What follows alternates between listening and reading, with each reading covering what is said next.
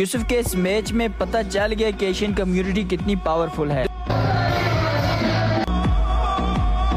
दोस्तों, यूसुफ भाई के इस मैच के अंदर उनको बहत्तर मिलियन कोइन की गिफ्टिंग मिली। यूसुफ भाई पिलुकस से उस वक्त मैच जीत चुके थे जब फ़ाइल क्लोज और सेमी भाई ने गिफ्टिंग स्टार्ट की थी।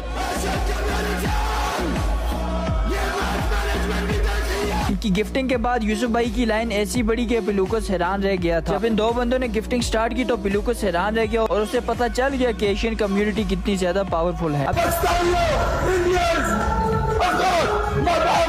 अभी हिस्ट्री का बहुत ही तगड़ा मुकाबला था। मैच के अंदर यूसुफ भाई की लाइव पर साढ़े तीन लाख से ज़्यादा व्यूज़ थे। पिलुकस एक रूम में बैठकर लाइव कर रहा था जबकि यूसुफ भाई अपने गिफ्टर्स के साथ थे। आखिर में जब यूसुफ भाई ने पिलुकस को अपने गिफ्टर्स बताए तो पिलुकस बड़ा ही हैरान रह गया था।